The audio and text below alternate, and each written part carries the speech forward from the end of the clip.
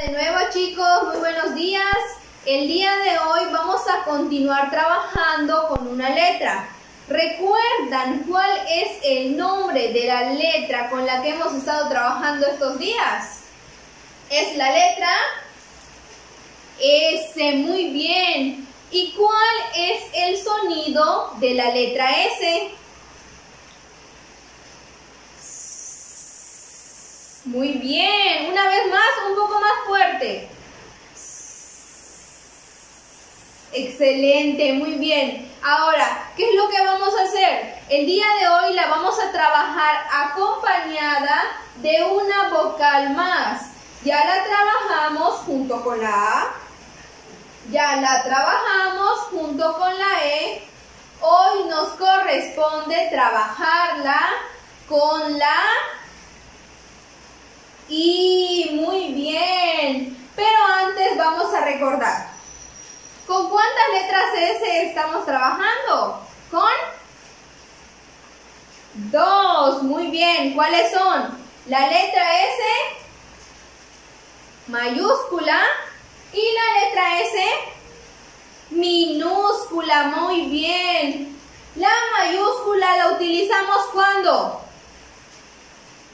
Cuando escribimos los nombres de las personas. Trabajamos con Sonia y trabajamos con Saúl. El nombre de estos dos niños comienza con la letra S. Muy bien. ¿Escuchamos? Sonia. ¿Escuchan el sonidito de la S? Sonia. Saúl, muy bien. Ahora, quiero que me digan si realizaron su tarea que les dejé en donde tenían que dibujar a un familiar o a un amigo que su nombre comience con la letra S. ¿Lo realizaron? ¿A quién dibujaron? ¿Cuál es su nombre? Que me mencionen su nombre. ¿Se escucha el sonidito de la S al principio? En el caso de Sonia, Sonia. En el caso de Saúl, Saúl. Muy bien. Ahora vamos a trabajar con la S minúscula. Como les comentaba, ya la trabajamos con la letra A. La S. Con la A. A. Suena. Todos juntos sa, sa de sapo. Escuchen, sapo. Muy bien. Ya trabajamos la letra S junto a la letra E. ¿Suena? ¿Todos juntos? C. C de semillas. El día de hoy la vamos a trabajar con la letra I y los siguientes días con la O y con la U hasta terminar con todas las vocales. Muy bien, comenzamos entonces. Nos corresponde trabajarla con la letra I. Ahora, si yo junto la letra S, todos juntos, letra S, con la letra I y obtengo el sonido sí, como el sonido de afirmación. Sí, muy bien. Ahora, ¿cómo yo escribo la S y la I? Recordamos, ¿cuántos pasos debo de seguir al escribir la letra S?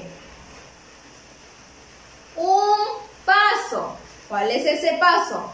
Tanto para la mayúscula como para la minúscula aplica el mismo paso. ¿Cuál es?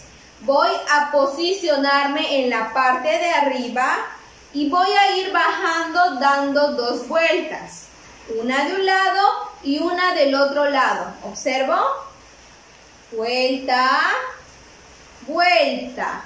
Y listo, ya bajé, ya formé mi letra S. Observo, me posiciono en la parte de arriba y voy a ir bajando dando dos vueltas. vuelta, vuelta. Muy bien. Lo mismo para la minúscula. Vuelta, vuelta. Y listo, ya tengo mi letra S. Ahora, para escribir mi letra I, también debo seguir un paso. ¿Cuál es ese paso? ¿Todos juntos? Me posiciono en la parte de arriba, bajo con un palito, despego mi lápiz y le voy a poner un puntito en la parte de arriba. Recuerden que no es una bola que voy a hacer en la parte de arriba. Es un puntito que le voy a poner, ¿de acuerdo? Y ya tengo mi letra S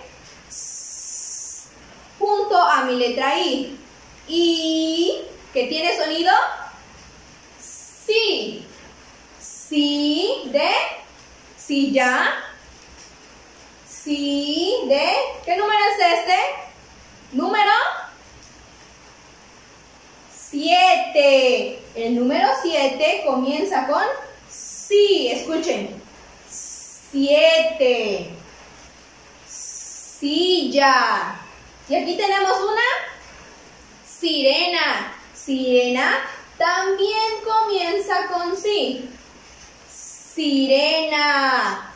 Así tenemos muchísimas más cosas. Tenemos, por ejemplo, sillón. Sillón comienza con sí. Escuchen. Sillón. También tenemos sierra. ¿Saben qué es la sierra? Es una máquina para cortar. Sierra. Escuchen, sierra. Sierra también comienza con sí. ¿Qué más comienza con sí? Silencio. Silencio también comienza con sí. Escuchen, silencio. Muy bien. Ahora que trabajamos la S junto con la I, ya tenemos tres sílabas. Tenemos sa de sapo. C de semilla. Si de silbato. ¿Qué es lo que vamos a hacer? Les voy a dejar tarea para trabajar la sílaba sí.